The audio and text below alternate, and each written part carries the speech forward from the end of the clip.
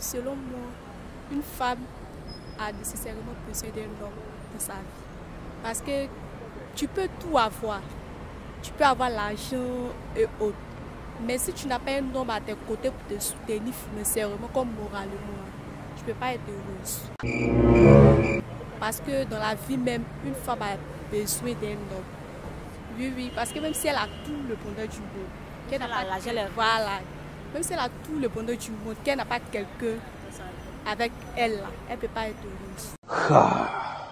Parce qu'elle peut voir des couples, même s'ils n'ont rien, mais ils sont ensemble.